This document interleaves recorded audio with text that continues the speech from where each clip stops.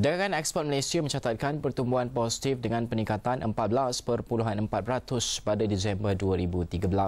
Ia berkembang pada kadar purata 8.9% untuk tempoh 6 bulan sejak Julai 2013.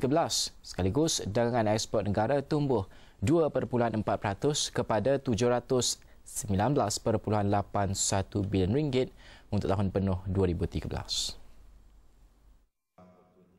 Menurut laporan prestasi perdagangan Malaysia 2013, ia didorong ambilan kukuh negara ASEAN selain peningkatan permintaan pasca pemulihan ekonomi Kesatuan Eropah.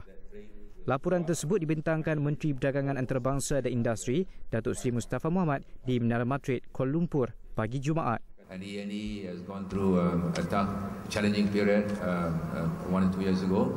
And uh, we've seen some recovery in the second half.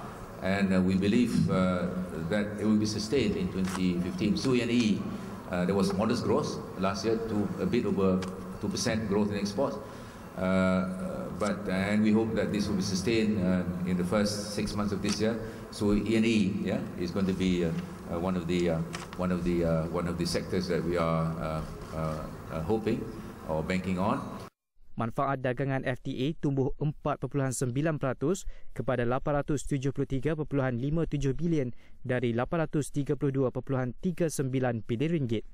China kekal sebagai rakan dagang terbesar negara untuk lima tahun berturut-turut dengan pertumbuhan dagangan 12.5% kepada 203.23 bilion ringgit.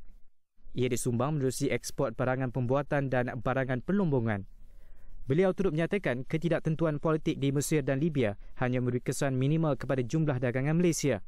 Ia susulan perdagangan di kedua negara tersebut masing-masing dicatatkan pada 0.2 dan 0.1% dari jumlah dagangan.